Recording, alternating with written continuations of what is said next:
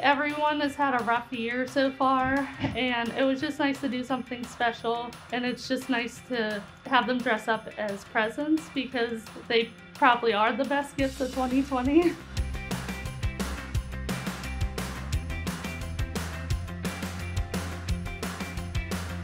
We want to celebrate those births, celebrate the wonderful things that continue to happen despite of what's happening outside our doors. We have new babies every single day that are the future.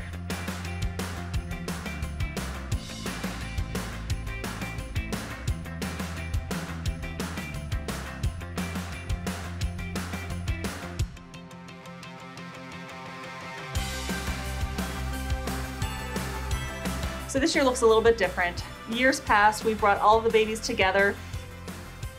This year, with the safety of our babies and the safety of our staff and our families in mind, we've taken that celebration to the room. So every baby is worth celebrating. Every baby is worth the opportunity and recognized as the best present of the year.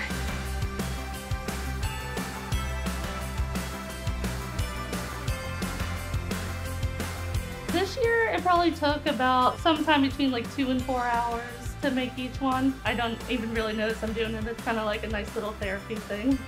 At home, it's fun to make them, but it's even more fun to come in and see how excited the parents get and the staff and just like all the cheer it brings everyone.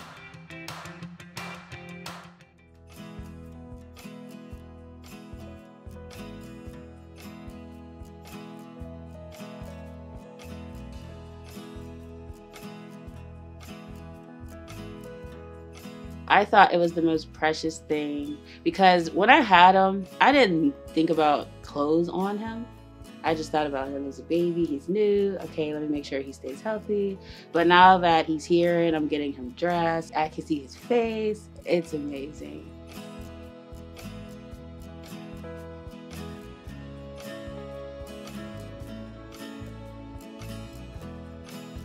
It will remind me of the process because the process at first, it wasn't easy. I came in the hospital for a regular prenatal appointment and I found out he was breech. He, his heart rate was dipping and my blood pressure was skyrocketing. So I didn't have a choice but to have a cesarean section within the next two hours. But the outcome was the greatest part of it all because he's here, he's healthy. It's amazing. It, I was nervous, but I'm not anymore.